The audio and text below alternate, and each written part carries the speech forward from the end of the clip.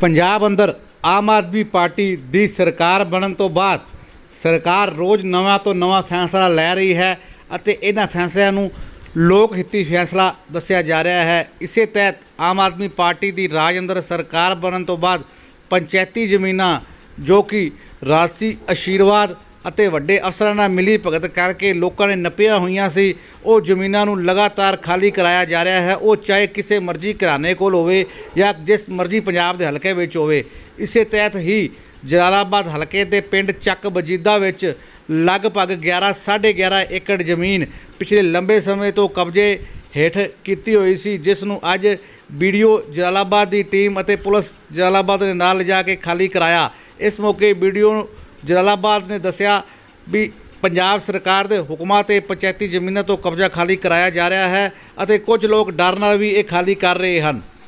ਕਿਉਂਕਿ ਸਰਕਾਰ ਦੇ ਹੁਕਮਾਂ ਦੀ ਉਲੰਘਣਾ ਕਰਨ ਦੀ ਇਜਾਜ਼ਤ ਕਿਸੇ ਨੂੰ ਵੀ ਨਹੀਂ ਦਿੱਤੀ ਜਾਂਦੀ ਅਤੇ ਸਰਕਾਰ ਦਾ ਹੁਕਮ ਸਭ ਲਈ ਇੱਕ ਸਮਾਨ ਹੈ। ਜਿਸ ਕੋਲ ਵੀ ਸਰਕਾਰੀ ਜ਼ਮੀਨ ਹੈ, ਉਹ ਤੁਰੰਤ ਖਾਲੀ ਕਰ ਦੇਵੇ ਅਤੇ ਲੋੜਵੰਦ ਸਰਕਾਰੀ ਰੇਟਾਂ ਤੇ ਬੋਲੀ ਕਰਾਈ ਜਾਵੇਗੀ ਉਹ ਜ਼ਮੀਨ ਪੱਠਿਆਂ ਦੇ ਵਾਹੀਯੋਗ ਉਹਨਾਂ ਨੂੰ ਦਿੱਤੀ ਜਾਵੇਗੀ, ਜਿਨ੍ਹਾਂ ਨੂੰ ਜ਼ਰੂਰਤ ਹੋਵੇਗੀ। ਇੱਥੇ ਉਹਨਾਂ ਹੋਰ ਕੀ ਕੁਝ ਕਿਹਾ? ਸਭ ਕੁਝ ਜਾਣਨ ਲਈ ਸਾਡੇ ਨਾਲ ਬਣੇ ਰਹੋ। ਵਾਹਿਗੁਰੂ ਜੀ ਕਾ ਖਾਲਸਾ, ਵਾਹਿਗੁਰੂ ਜੀ ਕੀ ਫਤਿਹ। ਅੱਜ ਜੋ ਕਿ ਪੰਚਾਇਤ ਗ੍ਰਾਮ ਚੱਕ ਵਜੀਦਾ ਦੇ ਜੋ ਨਜਾਇਜ਼ ਕਬਜ਼ੇ ਕੀਤੇ ਹੋਏ ਸੀ, ਜੋ ਕਿ ਮੌਕੇ ਤੇ ਸੀਐਮ ਭਗਵੰਤ ਮਾਨ ਜੀ ਉਹਨਾਂ ਦੇ ਹੁਕਮਾਂ ਨਿਰ- ਨਿਰਦੇਸ਼ਾਂ ਦੇ ਮੁਤਾਬਕ ਜੋ ਕਿ ਅੱਜ ਲਗਭਗ 11 11.5 12 ਕਿੱਲੇ ਤਕਰੀਬਨ ਕਬਜ਼ਾ ਛਡਵਾ ਕੇ ਪੰਚਾਇਤ ਦੇ ਨੂੰ ਸੌਂਪ ਦਿੱਤਾ ਗਿਆ ਹੈ, ਜੋ ਕਿ ਮੌਕੇ ਤੇ ਤਹਿਸੀਲਦਾਰ ਸਾਹਿਬ ਵੀਡੀਓ ਸਾਹਿਬ, ਸੈਕਟਰੀ ਸਾਹਿਬ, ਸਾਰੇ ਅਫਸਰ ਏਪੀਓ ਸਾਹਿਬ ਸਾਰੇ ਅਫਸਰਾਂ ਨੇ ਪਹੁੰਚ ਕੇ ਜੋ ਕਿ ਸਾਨੂੰ ਬਹੁਤ ਹੀ ਮਦਦ ਕੀਤੀ ਪੰਚਾਇਤ ਨੂੰ। ਅਸੀਂ ਉਹਨਾਂ ਦੇ ਬਹੁਤ ਬਹੁਤ ਧੰਨਵਾਦ ਹੈ ਪ੍ਰਸ਼ਾਸਨ ਦਾ। ਇਹ ਏਡੀਸੀ ਸਾਹਿਬ, ਡੀਸੀ ਸਾਹਿਬ, ਉਹਨਾਂ ਦਾ ਵੀ ਅਸੀਂ ਧੰਨਵਾਦ ਕਰਦੇ ਹਾਂ ਗ੍ਰਾਮ ਪੰਚਾਇਤ ਵੱਲੋਂ, ਜਿਨ੍ਹਾਂ ਨੇ ਸਾਨੂੰ ਸੰਯੋਗ ਦਿੱਤਾ ਅਤੇ ਪੰਚਾਇਤ ਨੂੰ ਕਬਜ਼ਾ ਦਵਾਇਆ ਵਾਹਿਗੁਰੂ ਜੀ ਕਾ ਖਾਲਸਾ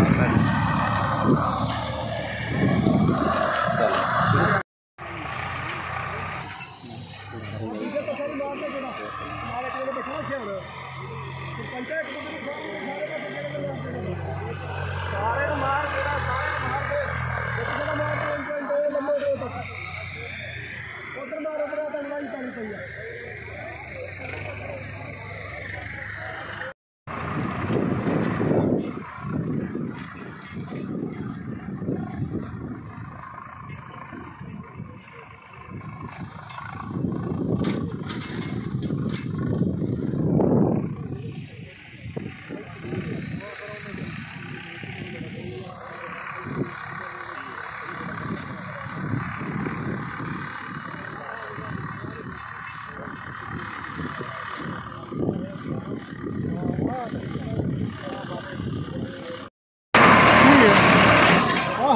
ਵਾਹਿਗੁਰੂ ਜੀ ਕੀ ਫਤਿਹ।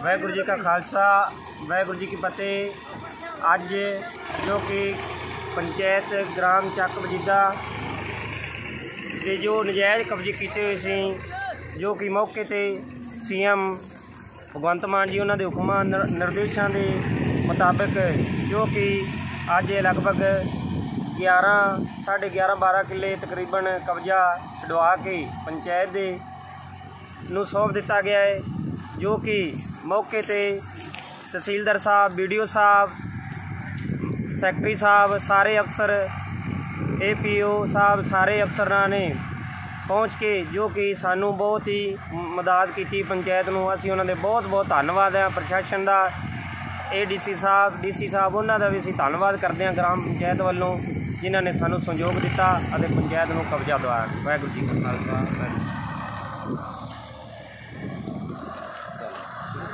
ਸਰ, ਕੀ ਨਾਮ ਆ ਤੁਹਾਡਾ ਤੇ ਕਿਸ ਅਹੁਦੇ ਦੇ ਤੈਨਾਤ ਹੋ ਤੁਸੀਂ? ਮੇਰਾ ਨਾਮ ਪਿਆਰ ਸਿੰਘ ਆ ਮੈਂ ਬਲਾਕ ਵਿਕਾਸ ਤੇ ਪੰਚਾਇਤ ਅਫਸਰ ਜਲਾਲਾਬਾਦ ਤੈਨਾਤ ਹਾਂ ਜੀ ਇਸ ਸਮੇਂ ਸਰ ਅੱਜ ਕਿਹੜੇ ਪਿੰਡ ਦੇ ਵਿੱਚ ਤੇ ਕਿੰਨੀ ਜ਼ਮੀਨ ਜਿਹੜੀ ਆ ਉਹ ਕਬਜ਼ਾ ਛਡਵਾਇਆ ਗਿਆ ਜੀ? ਜਿਸ ਤਰ੍ਹਾਂ ਕਿ ਸਾਰਾ ਪੰਜਾਬ ਇਸ ਸਮੇਂ ਜਾਣਦਾ ਹੈ ਕਿ ਪੰਜਾਬ ਸਰਕਾਰ ਪਿੰਡੂ ਵਿਕਾਸ ਤੇ ਪੰਚਾਇਤ ਵਿਭਾਗ ਵੱਲੋਂ ਜਿੰਨੀਆਂ ਵੀ ਨਜਾਇਜ਼ ਕਬਜ਼ਿਆਂ ਹੇਠ ਜ਼ਮੀਨਾਂ ਹਨ ਉਹਨਾਂ ਨੂੰ ਛੁਡਾਉਣ ਲਈ ਇੱਕ ਤਗੜੀ ਮੁਹਿੰਮ ਚਲਾਈ ਜਾ ਰਹੀ ਹੈ ਜਿਸ ਦੀ ਅਗਵਾਈ ਸ਼੍ਰੀ ਭਗਵੰਤ ਮਾਨ ਜੀ ਅਤੇ ਪਿੰਡੂ ਵਿਕਾਸ ਤੇ ਪੰਚਾਇਤ ਅਫਸਰ ਧਾਲੀਵਾਲ ਸਾਹਿਬ, ਉਹਨਾਂ ਵੱਲੋਂ ਕੀਤੀ ਜਾ ਰਹੀ ਹੈ। ਸਾਡਾ ਜਿਹੜਾ ਹੈੱਡਕੁਆਟਰ ਦਾ ਸਟਾਫ ਆ, ਉਹਦੇ ਵਿੱਚ ਪੂਰੀ ਹੱਲਾਸ਼ੇਰੀ ਦੇ ਰਿਹਾ ਸਾਨੂੰ। ਸਾਡੇ ਇਲਾਕੇ ਦੇ ਐਮਐਲਏ ਸਾਹਿਬ, ਗੋਲਡੀ ਕੰਬੋਜ ਜੀ ਵੱਲੋਂ ਵੀ ਸਾਨੂੰ ਥਾਪੜਾ ਦਿੱਤਾ ਗਿਆ ਕਿ ਜਿੱਥੇ ਜਿੱਥੇ ਵੀ ਨਜਾਇਜ਼ ਕਬਜ਼ੇ ਹਨ, ਉਹਨਾਂ ਨੂੰ ਜਲਦੀ ਤੋਂ ਜਲਦੀ ਛੁਡਵਾਇਆ ਜਾਵੇ। ਸੋ ਇਸ ਦੇ ਤਹਿਤ ਸਾਡੇ ਕੋਲ ਦੋ ਪਿੰਡਾਂ, ਚੱਕ ਬਜੀਦਾ ਤੇ ਢਾਣੀ ਮਾਂਗ ਸਿੰਘ ਤੋਂ ਜਿਹੜੇ ਦਖਲ ਵਾਰੰਟ ਪ੍ਰਾਪਤ ਹੋਏ ਸਨ ਡੀਡੀਪੀਓ ਦਫ਼ਤਰ ਤੋਂ। ਉਹਨਾਂ ਨੂੰ ਅਸੀਂ ਅੱਜ ਪੂਰਾ ਕਰ ਲਿਆ ਕਬਜ਼ਾ ਪ੍ਰਾਪਤ ਕਰ ਲਿਆ।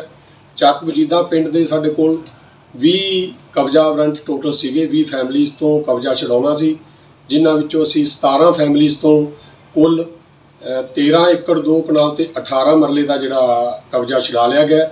ਤਿੰਨ ਫੈਮਿਲੀਜ਼ ਵੱਲੋਂ ਸਾਨੂੰ ਸਟੇ ਆਰਡਰ ਵਿਖਾਏਗਾ ਜਿਸ ਕਰਕੇ 2 ਕਿੱਲੇ ਤੇ 2 ਕਨਾਲਾਂ ਦਾ ਅਸੀਂ ਕਬਜ਼ਾ ਨਹੀਂ ਛਡਾ ਸਕੇ।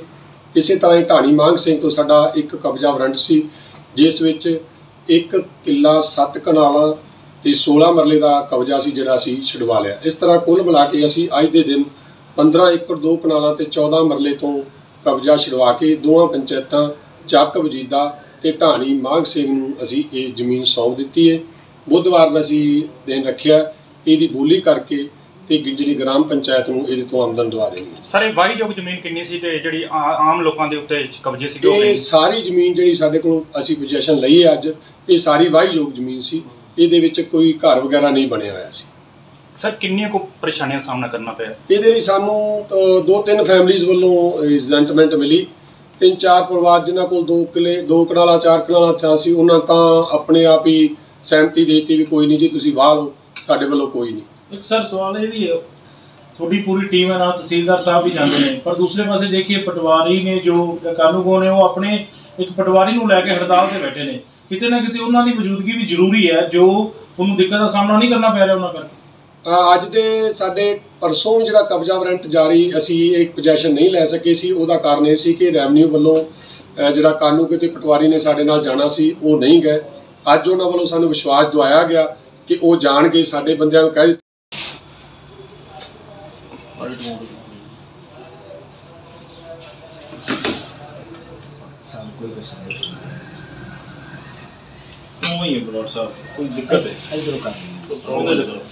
एबीएन न्यूज़ चैनल देखने वाले सभी दर्शकों से हम अपील करते हैं कि एबीएन न्यूज़ चैनल पर ऐसी लेटेस्ट खबरें देखने के लिए हमारे चैनल को सब्सक्राइब करना ना भूलें। जय हिंद, जय भारत।